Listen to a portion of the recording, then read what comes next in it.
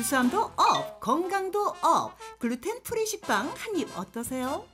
이제 다크 초콜릿 케이크를 만들어 보도록 하겠습니다. 네. 다크 초콜릿 같은 경우는 당도가 상당히 낮아요.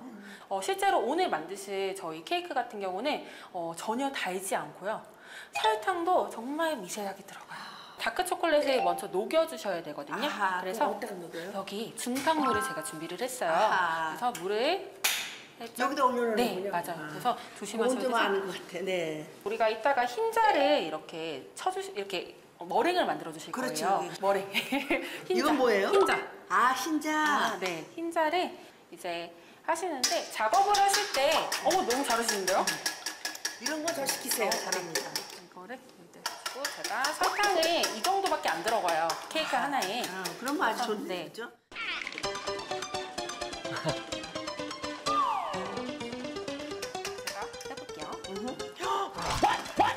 와. 이게 정말 어머, 어머. 전문가의 차이입니다. 프로 프로. 뭐 와우. 헬스클럽 갑니까? 이런 거 하면서 헬스 하면 되는 거죠. 이렇게 달라지는 거 보세요. 몸이 너무 좋아요. 이렇게 하니까. 너무 좋아요. 그죠? 어. 그래서 이렇게 손으로 찍어봤을 때 오. 살짝 아. 원뿔이 생기도록 해주시는데 원래는 이거보다 좀 더 단단하게 올리시면 좀더 풍부하게 크게 만들 수가 있어요. 그런데 힘드시면 이 정도만 만드셔도 오케이. 충분합니다. 네. 그 다음에 그래서 여기서 하시고 나서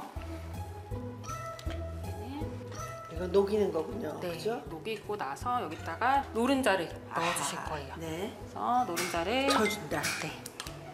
이 잔열로 마스카폰 치즈를 넣으셔도 되고요. 아, 이거 뭐예요? 어, 이거 같은 경우는 그냥 크림이 크림 치즈나 마찬가지인데 아하. 약간 우유랑 젖산이 섞여 있는 치즈예요. 신맛보다는 조금 고소한 맛이 많은 치즈예요. 그래서 이거를 넣고 그래서 이거 같이 섞어주실게요.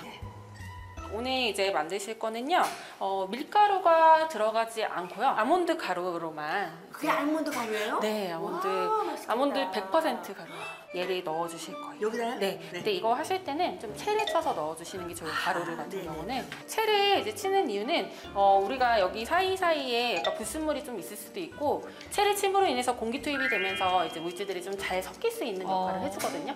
그래서 채를 치시는 거예요. 이게 얼마나 어르신들한테 좋은데요. 음. 아몬드 가루가 충분히 섞이도록 잘 저어주세요. 머랭을 간절해서 여기다 좀 아. 여기다 반절을요? 네, 이 정도면 네, 되겠다. 좋아요. 한 70% 정도까지만 이제 섞어주시고 네. 이 정도 섞었을 때 나머지 머랭을 여기다가 여기다 넣는군요. 네, 이거 하고 선생님께서 한번 섞어보세요. 머랭기가 남지 않도록 조금 섞어주셔야 돼요. 안 그러면 제품에 구멍을 만들어요. 오시기 전에 이제 호두를 조금 구워놨어요. 아, 반절 호두. 정도는 넣고 반절은 위에다가 뿌릴게요. 어, 식감도 좋겠네요. 조금만 다시 섞어주세요. 한번? 네. 이제 네. 그다음에? 그리고 나서는 여기에다가 그냥 넣어주시면 돼요. 아. 그래서 이거는 제가 네, 그래서 와. 네. 그래서 살살살살.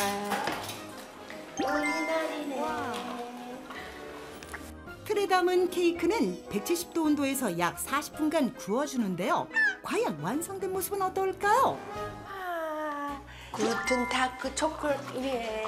할머니가 이렇게 만들어서 집에 갔다가 딸한테 예 우리 손자들 좀 먹여라 그러면 아 오늘 하루가 굉장히 해피 해피 해피 해피 해피. 해피 해피 사랑할 것 같아요 하트까지요. 너무 너무 즐거워요.